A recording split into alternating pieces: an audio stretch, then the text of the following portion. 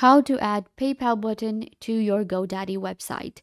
Quick and easy. Hi guys, welcome back. Today I'm giving you a tutorial on how to add your PayPal button to your GoDaddy website. So let's get into it. You will go to godaddy.com and then you're going to log into your account, go to websites.godaddy.com and open up your website builder. This is a website that I am creating and I want to add my PayPal button so that when a customer or a visitor clicks on a button, it takes them to PayPal and it allows them to do payments. So how to do that? First of all, we need to add a button to our website. So for that, what I'm going to do is I'm going to quickly add a section right here.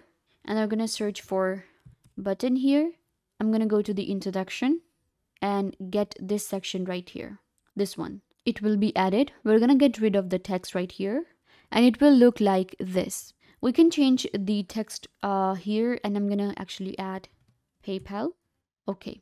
So here we have it. Now we're gonna go to the links. Add a website URL we're gonna go to our PayPal. Uh, make sure you have your account. You can just create an account on paypal.com or if you already have one.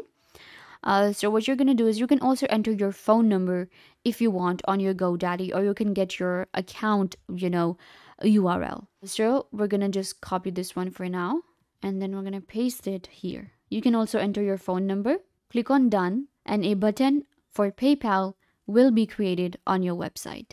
I hope that I was a big help. Don't forget to give this video a big thumbs up, leave a comment down below, turn on bell notification and subscribe to YouTube channel.